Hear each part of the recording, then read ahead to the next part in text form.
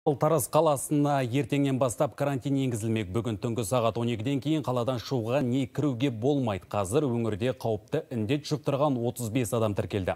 Ауырғандардың көбі шекара асып келгендер. Үндістанның Дели қаласынан келген ұшақ бортындағы 91 жолаушы карантинге жатқызылды.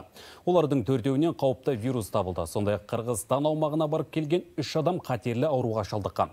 Сондықтан шекара маңдағы Қордай ауданында оқшауланбақ. Ал жол жиектеріне қойылған бекеттердің көмегімен оннан астам адамнан жұқпалы инфекция анықталды. Тараз қаласының аймағында жеті блокпост орнатылды. Бұл блокпосттар өзіне тиесілі керекті құрал жабдықтармен барлығымен қамтамасыз етілді. Тікелей қалада ашылған штабпен байланыста болатын болады